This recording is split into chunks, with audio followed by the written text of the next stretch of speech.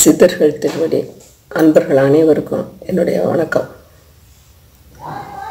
அடுத்து தாத்தாவை பற்றி என்ன சொல்கிறதுக்கு சாமியை பற்றி சொல்கிறது நிறைய இருக்குது அது இந்த பதிவு வந்து அடுத்த ஒரு அனுபவம். திருவண்ணாமலைன்னு சொல்லுவாங்க தாத்தா. எனக்கு அது தெரியாது.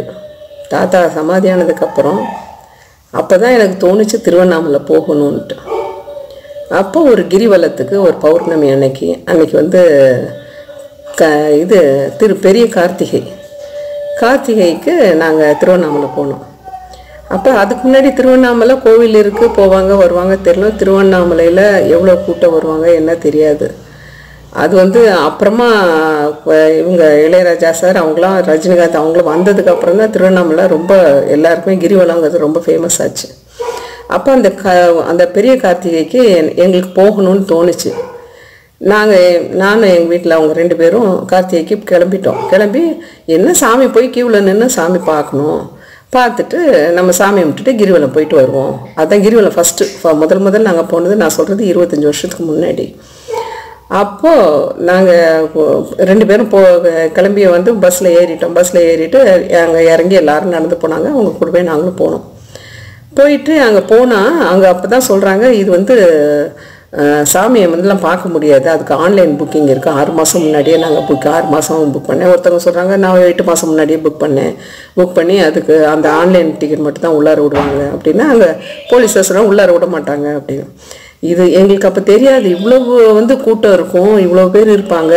அதில் குறிப்பிட்ட ஆளுங்க தான் உள்ளார போக முடியும். மற்றவங்க இந்த ஆன்லைனில் புக்கிங் மட்டும்தான். அதுவும் க்யூவில் தான் விடுவாங்க இல்லைன்னா போக முடியாது. அப்படிங்கிறது எங்களுக்கு தெரியாது. நாங்கள் ஐயோ வந்துட்டோமே.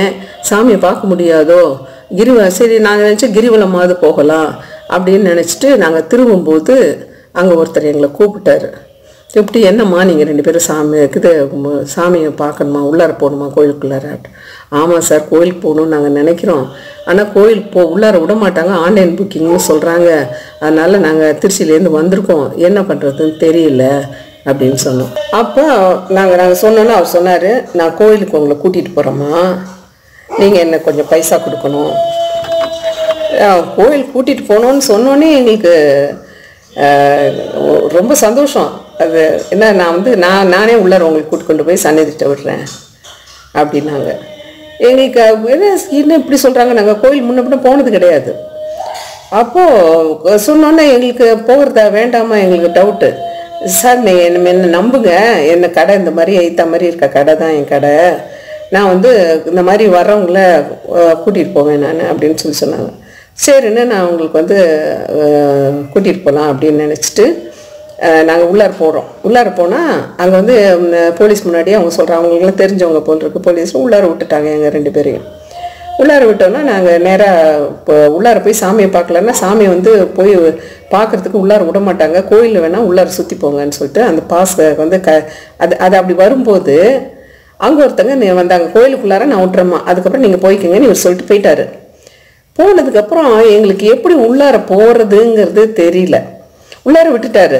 எப்படி சாமி போய் எந்த பக்கம் போய் பார்க்கறது எப்படி போகிறதுன்னு தெரில அப்போ ரெண்டு பேர் வந்தாங்க. ரெண்டு பேர் வந்து கையில் கழுத்தில் டை எல்லாம் போட்டிருந்தாங்க. போட்டு கையில் வீடியோ கேமராலாம் வச்சுருந்தாங்க. வீடியோ கேமரா வச்சு, என்னம்மா நீங்கள் சாமி தரிசனம் பண்ணிட்டீங்களா? அப்படின்னு வந்து அவங்களும் வாலண்டியராக வந்து கேட்டாங்க. இல்லைப்பா அதான் பார்க்கலான்னு போகிறேன் எப்படி போகிறதுன்னு தெரில உள்ளார வந்துட்டோம். கொண்டாந்து விட்டுட்டாங்க. அடுத்து எப்படி போய் சாமியை எந்த பக்கம் போய் பார்க்கறது எப்படி போகிறதுன்னு தெரில இங்கே சாமியெல்லாம் பார்க்க விட மாட்டாங்கம்மா இன்னைக்கு. இன்றைக்கி வந்து வேணா நீங்கள் சாமி இந்த அர்த்தநாஸ் வருவார் வெளியில் அப்போ வரும்போது பார்க்கலாம். அது எங்கே இருந்து பார்க்கலான்னா அதுக்கு இந்த ஒரு சைடு இருக்குது விஐபி சைடு குரூப் இருக்குது அந்த குரூப்பில் போய் நீங்கள் உட்காந்துட்டிங்கன்னா பார்க்கலாம் அப்படின்னாங்க. எங்களுக்கு விஐபி குரூப் என்னப்பா நான் எங்களுக்கு ஏதுப்பா அதெல்லாம் அப்படின்னு. உடனே அவங்க ரெண்டு பேரும் கழுத்தில் போட்டிருந்தா அந்த டேட்டை கடிச்சு கொடுத்தாங்க. அதை பார்த்தா அதை குறிப்பிட்ட டிவி பேர் சொல்ல நான் விரும்பல. அந்த டிவியோட டிவி இதை எடுக்கிறவங்க அவங்க.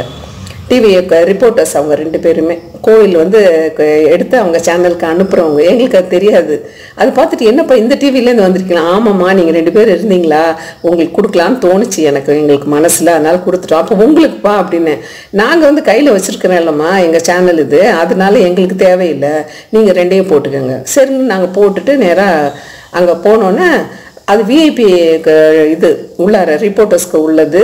அது வந்து அவங்க எங்கே வேணாலும் போகலாம். அப்போ எங்களுக்கு ஒரு இதில் போலீஸ் எல்லாம் சேர்ந்துட்டு இந்த சைடு வந்து உட்காருங்கன்னாங்க உட்காந்து அந்த விஐபி குரூப்பில் போய் உட்கார சொல்லிட்டாங்க சேர் போட்டு. அந்த சேர் போட்டு உட்காந்தது வந்து எங்கள் உட்காந்த நிமிஷம்.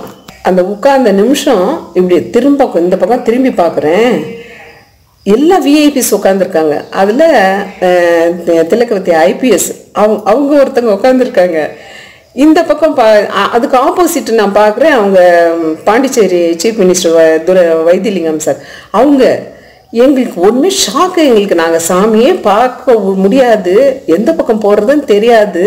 அப்படி நாங்கள் நின்னவங்களுக்கு எங்களுக்கு வந்து கோவிலுக்குள்ளார கூட்டிகிட்டு வர ஒருத்தர் வந்து கூட்டிட்டு வந்து உள்ளார விட்டாரு. அங்கே சாமியை போய் உட்காந்து பார்க்குற ஒரு இடத்துல வந்து வந்து ஒருத்தங்க வந்து க- இருந்து எங்களுக்கு அந்த இதை கொடுத்துட்டு போனாங்க. அந்த கழுத்தில் போட்டிருக்க அந்த டேட்டை கொடுத்துட்டு போனாங்க எங்கள் ரெண்டு பேருக்கும். இந்த ஒரு இதான்னு நினச்சிட்டு எனக்கு ரொம்ப சந்தோஷம் சந்தோஷம்னா சந்தோஷம் அப்படி ஒரு சந்தோஷம். நம்ம ஃபஸ்ட்டு டைம் வர்றோம். நமக்கு இந்த க- கார்த்திகை பெரிய கார்த்திகைக்கு இந்த மாதிரி இருக்குன்னு தெரியாது நமக்கு.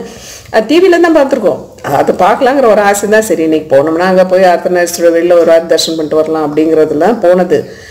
ஆனால் இவ்வளவு இதாக இருப்பாங்க. அதில் குறிப்பிட்ட ஆளுங்க தான் அந்த கோயிலுக்குள்ளாரே இருக்க முடியுமா? மற்றவங்க யாரும் இருக்க முடியும். கோயிலில் விட மாட்டாங்களா? எல்லாம் வெளியில் கி கிரிவலம் தான் போவாங்களாம். அப்போ அதில் எங்களுக்கு கிடச்சிது அது இப்போ உட்காந்துருந்தோம் உட்காந்து சாமி வந்த வெளியில் அர்த்தநாரீஸ்வரர் தரிசனம் கொடுத்தாங்க.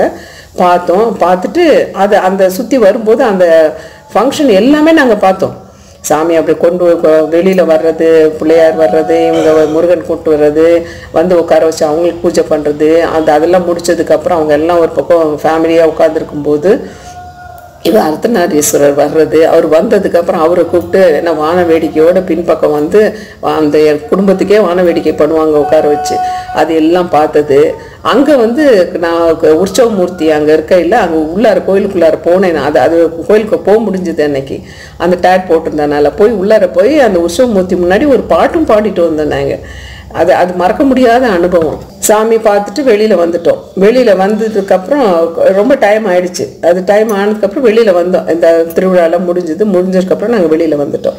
வெளியில் வந்துட்டு கிரிவலம் போனோம். கிரிவலம் அந்த ஃபர்ஸ்ட் டைம் நாங்கள் நடக்கிறது.